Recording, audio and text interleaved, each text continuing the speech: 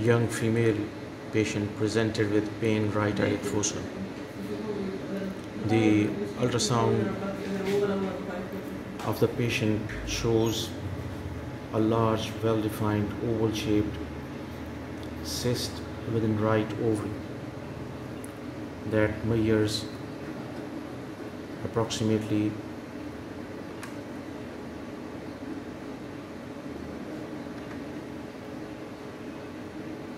seventy seven into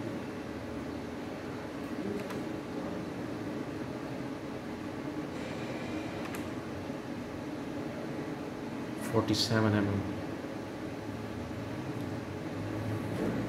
ovarian tissue with a few small follicles surrounding it is also seen. There was, there was no evidence of acute appendicitis. Rest of the study was unremarkable.